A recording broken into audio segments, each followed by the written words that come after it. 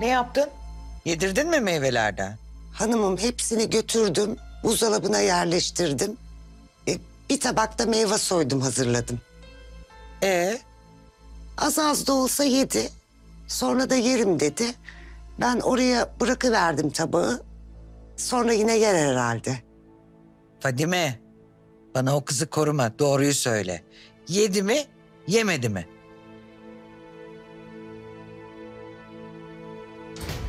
Bir daha sakın böyle davranmaya cüret etme.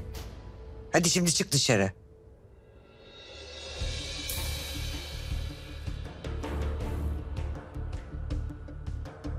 Bu kız basbayağı ayak diriyor. Halacığım, sana akıl vermek haddim değil ama... ...o kız yüzünden tedavi boşa gidecek diye korkuyorum. Bu saatten sonra böyle bir şeye izin verir miyim hiç? O ayak diriyorsa ben ayağı kırmasını bilirim.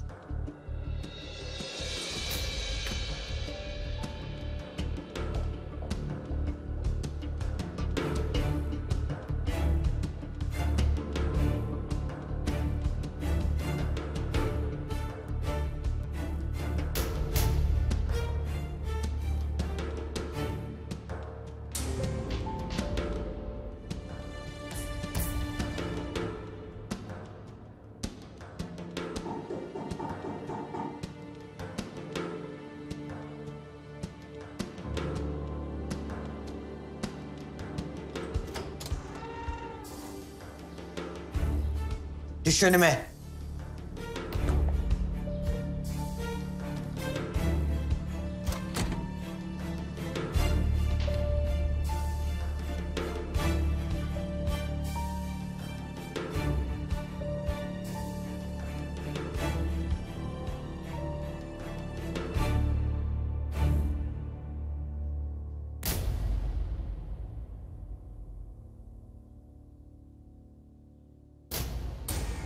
Duydum ki bir şey yiyip içmiyor musun? Ne o? Yemeklerimi beğendiremedik sana. Abinin evinde daha mı iyileri vardı yoksa? Hayır olur mu öyle? İştahım yok sadece. Senin iştahının keyfini bekleyecek halimiz yok gelin hanım. Hizmetçi getiriyor önüne koyuyor. Burun kıvırıyorsun. Yok öyle ya ama. Bebek doğana kadar beslenmene dikkat edeceksin. Yapacağın tek şey yemek yemek. Onu bari beceriver artık.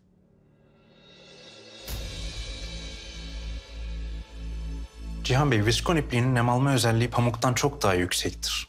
Bu nedenle renkler daha canlı ve parlaktır. Ayrıca efendim bunlarda nefes alma özelliği olduğu için alerjen değildir.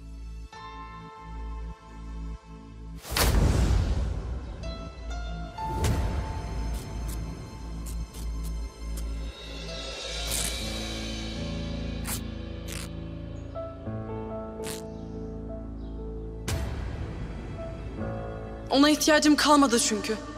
Çocuk değilim ben artık. Sayende dün büyüdüm. Siz kış koleksiyonu için düşünmüştünüz değil mi? Efendim? Viskon ipliği daha çok kışlık halılarda kullanıldığı için hani kış koleksiyonu için düşünmüştünüz değil mi? Tabii tabii. Kış koleksiyonu için.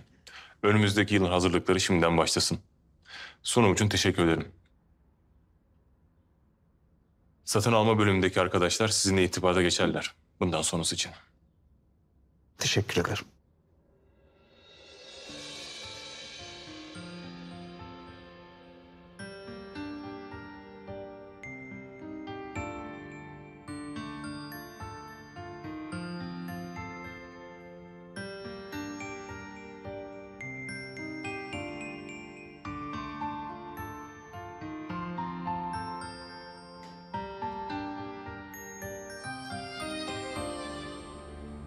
Nasıl? Beğendin mi sunumu?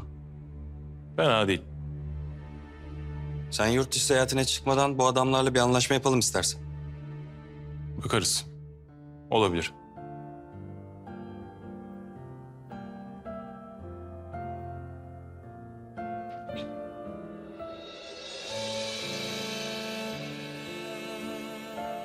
İçtin mi ilaçlarını? İçtim. İğneyi yaptın mı? Yapamadım. Yani elim gitmedi yapmaya. Beceremediysen niye haber vermiyorsun? Ne zaman haber verecektin? Bebek tutmadığını da mı söyleyecektin yapmadığını? Hazırlan. Hastaneye gidiyorsun o zaman. Öyle ya da böyle bu iş yapılacak. Lütfen bana bir şans daha verin. Söz veriyorum yapacağım. Ama lütfen beni bir yere göndermeyin. Söz veriyorum yapacağım. İyi peki madem. Sinem'i arayayım gelsin yardım etsin. Ama bak onunla da yapamazsan hastaneye gideceksin haberin olsun. Teşekkür ederim.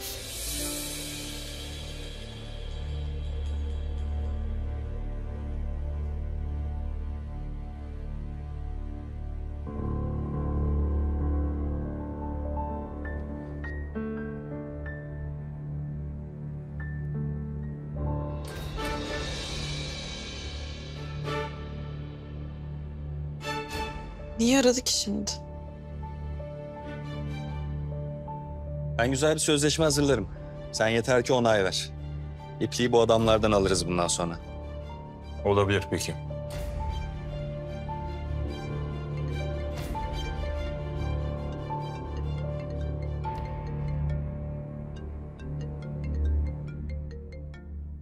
Ben çıkayım. Sen rahat konuş.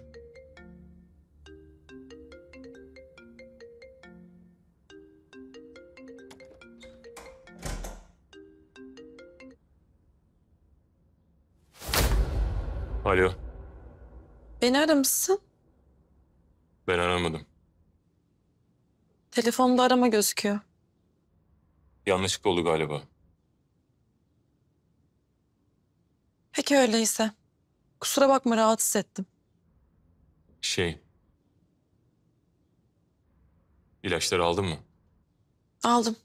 Bir yan etkisi falan olursa? Geçer diye bekleme. Hemen haber ver. Yok bir şey olmaz bana merak etme. İğneyi yapabildin mi? Yapamadım. Hemen polikliniği arayayım birisini göndersinler istersen. Yok gerek yok. Sinem abla gelecek zaten yardım etmeye. O geldiğinde hallederim. İğneyi yaptıktan sonra yengem çıkmasın. Söylersin yengeme. Yanında kalsın. Neden ki? Biraz yanında beklesin. Bir yan etkisi falan olursa birisi olması iyi olur yanında. Ben yurt dışına çıkacağım iş için. Söylemeyi falan unuturum muhtemelen. Sen söylersin. Tamam söylerim. Ne zaman gideceksin? Yarın. Ne zaman döneceksin? Çok uzun değil. Merak etme. Sadece bir hafta. Yok merak ettiğimden değil.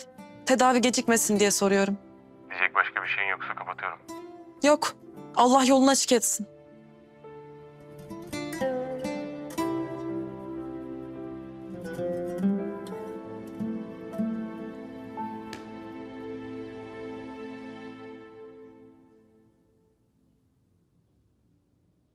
Daha fazla video izlemek için kanalımıza abone olabilir, ilk izleyen olmak isterseniz bildirimleri açabilirsiniz.